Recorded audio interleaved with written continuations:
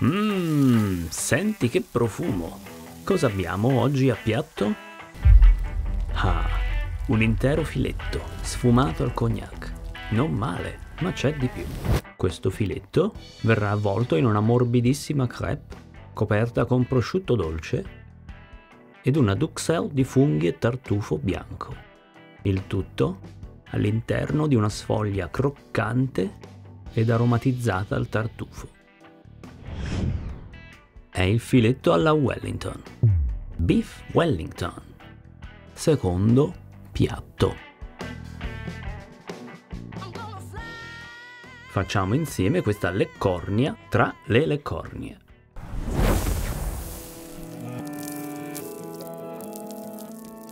Ecco il nostro filetto, dalla testa fino all'inizio della coda.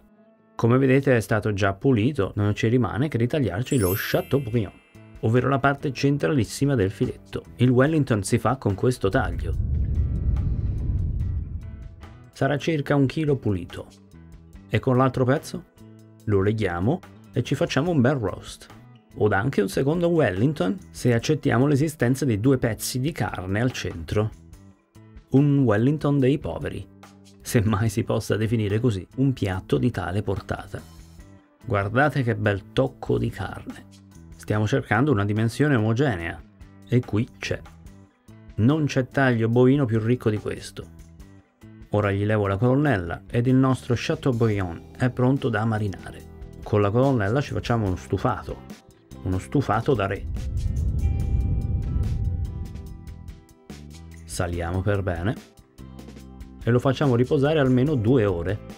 Il sale deve entrare per bene dentro la carne Inoltre dobbiamo dare il tempo ai processi osmotici di riassorbirsi tutti i succhi che il sale richiama in superficie. Un errore comune dell'amatore è quello di salare e non dare il tempo affinché i succhi si riassorbano. Questo porta alla perdita di gusto e ad una rosolatura terribile. Sempre parlando di sale, già che ci siamo. Un altro errore comune è quello di salare la carne a fine cottura. Una follia che rovinerebbe questo filetto e di conseguenza il Wellington. Un discorso simile si applica anche ad una bistecca fiorentina, ovviamente.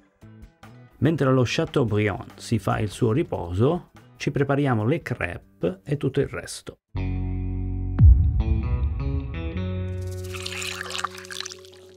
Questi gli ingredienti per le crepe le quali daranno non solo un gusto maggiore al nostro Wellington, ma proteggeranno ulteriormente la sfoglia dalla fuoriuscita dei liquidi di cottura. Due uova, sbattiamole. Questa che vedete è una ricetta base. Con questo mix ci possiamo fare di tutto, da crepe salate a crepe dolci. Quindi aggiungete questa sezione del video al vostro ricettario. Eccolo qui, bello omogeneo. Passiamo alla farina, alla quale aggiungiamo sale e zucchero.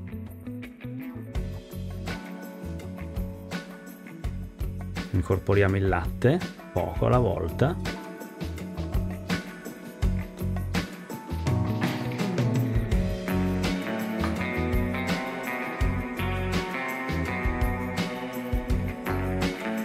Perfetto dentro le uova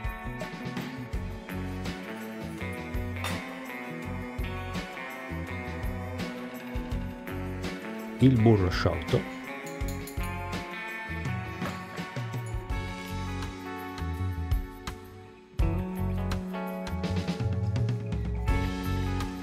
Questa è la consistenza giusta. Vedete quanto è liquido? La proporzione farina liquidi da ricordarsi è di circa due volte o due volte e mezzo. Setacciamolo, anche se siamo stati molto attenti, qualche grumo si forma sempre, quindi è bene setacciare. E mentre diamo il tempo alla pastella di riposarsi, portiamo il forno a 200 gradi. Questa teglia è stata in forno a 200 per 10 minuti. Perché vi chiederete?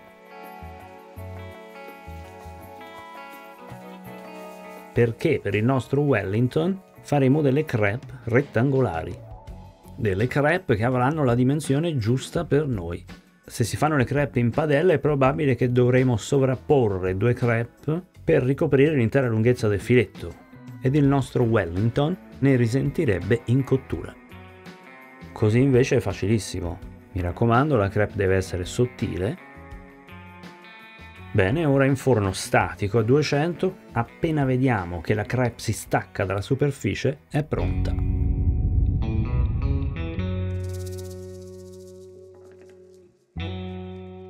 Rullo di tamburi. Ed ecco il nostro lenzuolo, anzi il nostro scudo, scudo di difesa contro i liquidi, come vedremo poi. Guardate quanto è fina.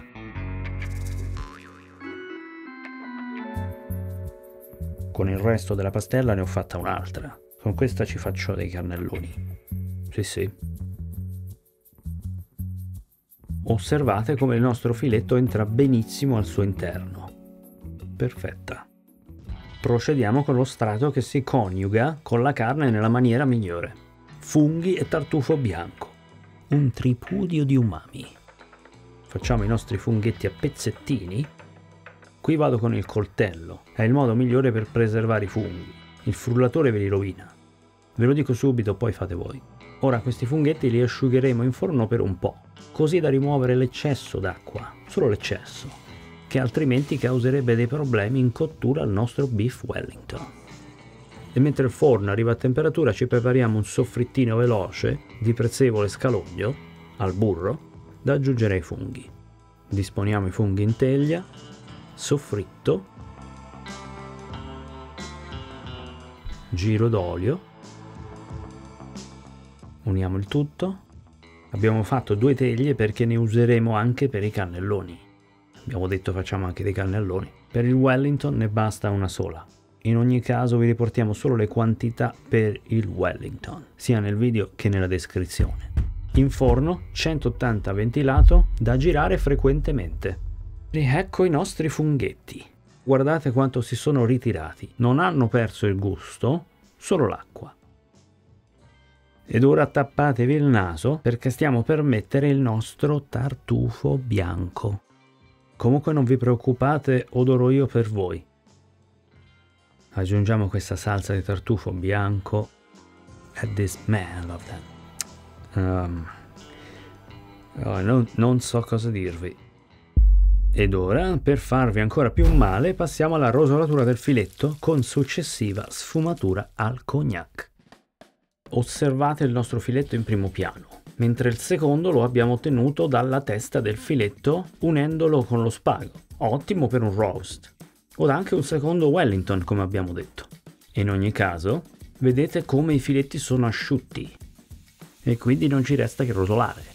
Al burro, chiarificato o concentrato come talvolta è chiamato. È fondamentale usare questo burro perché non brucia. Controllate sul nostro canale come realizzare il burro chiarificato a casa veramente facile. Lavoriamo su tutte le superfici. La temperatura che raggiungiamo con queste padelle in acciaio al carbonio è veramente alta. Stiamo parlando di 350-400 gradi. A queste temperature la reazione Maillard tra i carboidrati e le proteine della carne avviene molto rapidamente ed è ciò che vogliamo per una corretta rosolatura, con minima perdita di succhi. Mamma mia che profumo! C'è un odore di carne alla griglia da paura. Il nostro staff si sta sentendo male, soprattutto la regista, che è una carnivora doc Guardate la nostra torretta come si tiene bene in piedi. Questa è carne di prima scelta, signore e signori. Non ci resta che sfumare e deglassare. Preparate i vostri occhiali da sole perché stiamo per avere delle fiamme degne di Ade.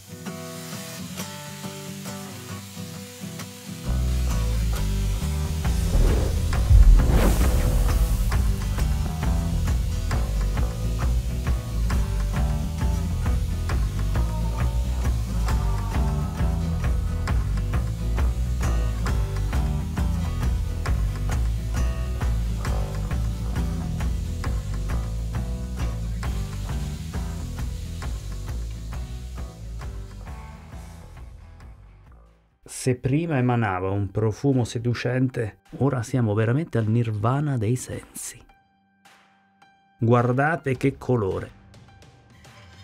Ora deglassiamo. Questo fondo noi lo filtreremo, lo sgrasseremo e quindi verrà aggiunto al fondo bruno per creare la salsa demi-glace al cognac che useremo per servire il nostro Wellington.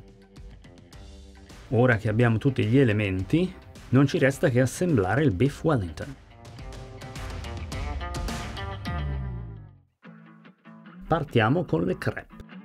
L'abbiamo già tagliata a misura di filetto, adagiamo il prosciutto dolce, uno strato a coprire, rimuoviamo gli eccessi, questi vanno ai nostri cannelloni.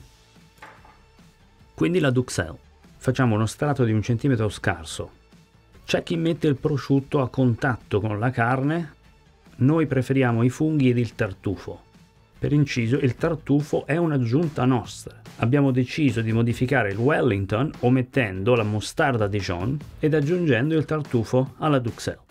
Poi, se volete saltare sul carro dei mostardari anglosassoni, fate pure. Adesso questo filetto lo lasciamo così una mezz'ora e poi finiamo l'assemblaggio con la pasta sfoglia.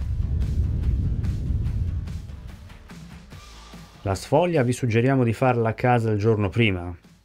Se proprio non avete voglia di farla, compratela, ma non al supermercato, dove troverete solo sfoglie piccole e con olio di palma. Andate da un pasticcere di fiducia piuttosto. Mentre questa che vedete l'abbiamo fatta ad hoc, aromatizzandola con il tartufo. Se volete vedere come fare una pasta sfoglia, controllate nel nostro canale il video a riguardo. E siccome è fatta ad hoc non c'è nessun bisogno di taglia e incolla, visto che è grande abbastanza per il nostro filetto. E con gli scarti ci facciamo dei rustici, per esempio. Salsiccia di cinghiale e tartufo nero di norcia. Perché no? Spennelliamola bene con uno sbattuto di tuorli e panna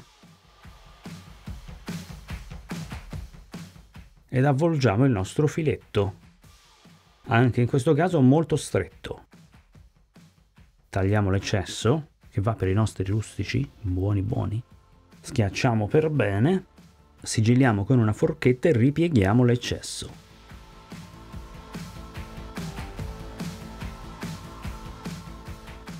Guardate che bella forma, guardate quanto è bello.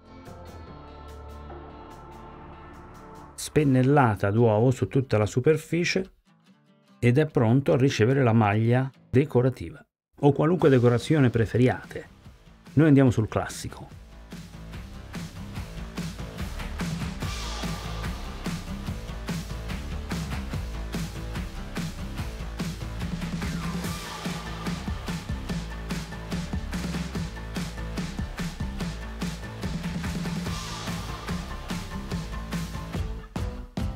E opla! Che bello, abbiamo pescato un filetto, pensate. Non ci resta che sigillare per bene. Altra spennellata d'uova. Il Wellington è pronto ad andare in forno. 200 gradi ventilato per un 20-25 minuti. Comunque piuttosto che con il tempo, giudicate a vista e con un termometro. La sfoglia deve essere ben colorata e la temperatura interna della carne deve essere intorno a 48 gradi per una cottura che lascerà il filetto bello rosa. Mi raccomando non rovinate la vostra creazione cuocendolo troppo. Fate sempre in tempo a ripassare le fette al forno se trovate che la cottura sia troppo al sangue.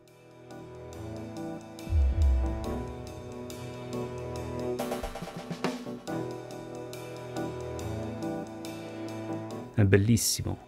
Guardate che colore! Sia la sfoglia base che il reticolo hanno un colore omogeneo lungo tutta la superficie. Croccante? Ma un Wellington intero è per almeno 4 persone, anche 6. Lo dobbiamo fare a fette.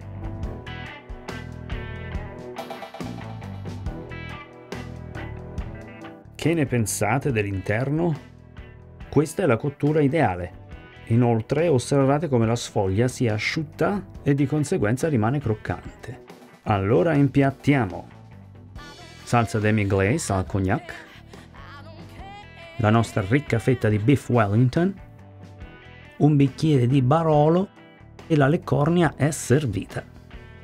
descrivervi il profumo ed il sapore sarebbe pedante e soprattutto sadico. Provatelo e goderete. E non dimenticatevi di iscrivervi a piatto, di cliccare sulla campanella e di farci sapere nei commenti come fate il vostro beef Wellington.